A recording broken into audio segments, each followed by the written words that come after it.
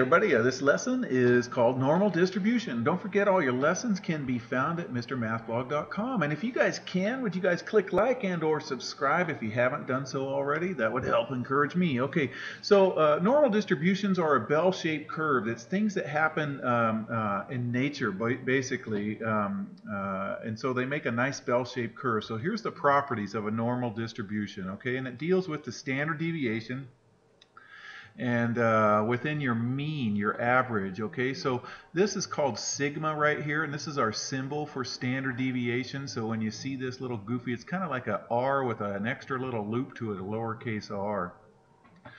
Okay, and so this uh, this bell-shaped curve just means that um, it's going to have these following characteristics. This is called a normal curve or a normal distribution within one standard deviation from the mean. Okay, here's the mean uh, x bar right here. So if we go to the left one standard deviation, that is x bar minus uh, a standard deviation. If we go to the right, that's x bar plus standard deviation.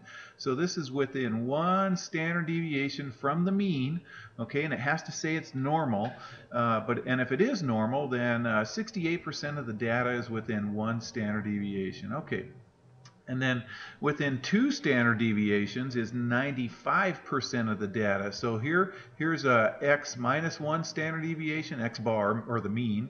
Here's the mean minus two standard deviations. That's what this says. The x bar is mean minus two standard deviations. Over here is mean plus two standard deviations, okay? So mean is in the middle one standard deviation, two standard deviations, and in this way, one, two. So within two standard deviations, if it's a normal population, 95% of the data lies within that. And then uh, within three standard deviations, not quite 100%, but almost 100%, 99.7% of the data is within three standard deviations from the mean right here. All right, so there's, of course, there's people past this. Like if you're talking salaries, this would be like Bill Gates or somebody way over here. In fact, he'd be way off the chart over here. His probability that you're as rich as Bill Gates is basically zero. Okay, and then over here would be like the really poor people. Or if you're talking about heights, it would be the really short people. And these would be the Shaquille O'Neals and all of that, if you guys know who that is anymore. Okay, so so one standard deviation is 68%, two standard deviations is 90, uh, 95%, and three standard deviations is uh, 97.5. So here it is, 68, 95, 99.7. Let me do that again. 68, that's one standard deviation. 95 is two standard deviations. 99 9.7 is three standard deviations. You guys got to know this. I'm going to do it one more time. 68, 95, 97. One, two, three standard deviations from the mean of a normal curve. Okay?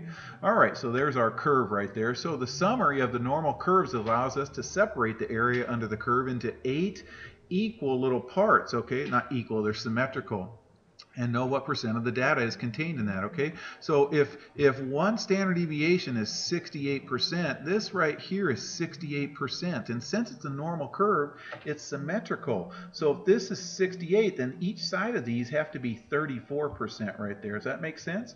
Okay, two standard deviations is 95%. So if it's 95% right there, and then from here to here is 68%, doesn't it make sense that the rest of the 95% percent or the 27% would have to be these two pieces? Because here's the one standard deviation it's 68% and then so the two standard deviations is 95 so if I subtract them there's 27 left. Now if I split 27 into two equal parts we get 13.5 each.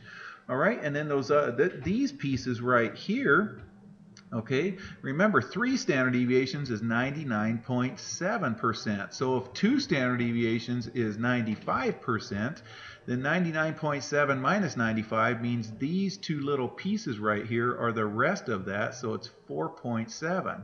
Okay, so if I split 4.7 up, you get 2.35 and 2.35 right there.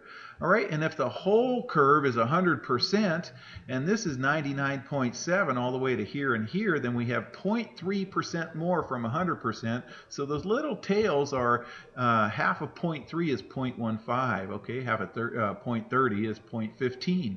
Okay, so this little tail right here is the uh, 0.15%. So decimal, it would be even two more decimals, one, two to the left right here. So that would be the, the decimal value on that. Okay, so here's how we do this.